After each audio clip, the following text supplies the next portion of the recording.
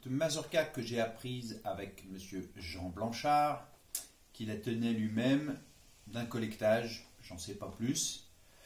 Euh, on lui posera la question sur internet, il nous répondra sûrement. Je crois qu'elle s'appelle mazurka de Joffé et qu'elle vient de la région des Combrailles.